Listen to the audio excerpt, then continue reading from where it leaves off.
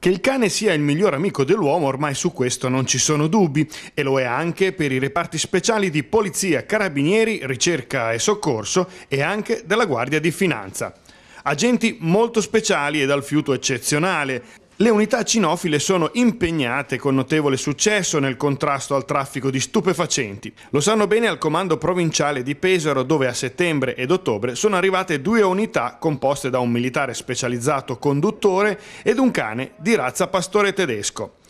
Dalla loro entrata in servizio, Astor e Uro, i nomi dei due cani, hanno permesso di sequestrare 70 dosi di hashish e marijuana e 4 di cocaina e di segnalare all'autorità giudiziaria 3 persone per spaccio e 19 al prefetto per consumo di sostanze stupefacenti. Quindi queste due unità cinofile verranno impiegate per, ehm, in attività antidroga sul territorio pesarese di tutta la provincia, quindi affiancandosi ai vari reparti presenti sul territorio pesarese eh, cercheremo di eh, andare principalmente in quelli che sono i luoghi di passaggio, quindi ad esempio caselle autostradali, stazioni ferroviarie dove c'è il passaggio, eh, il via vai insomma, di persone che potrebbero comunque essere interessate ad un traffico di tal genere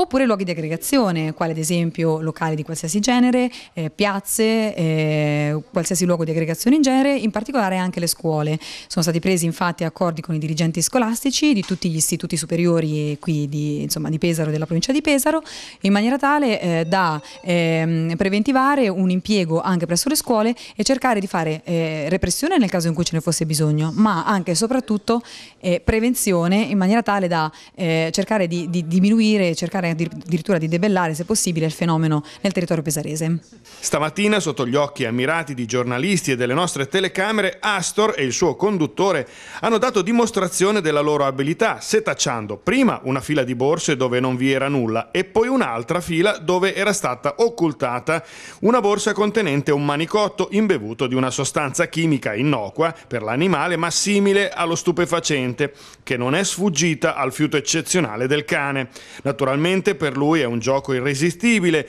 e per i militari una risorsa inestimabile e preziosissima. Ed alla fine tutti in posa, soddisfatti e orgogliosi. Ok, di qua un attimo.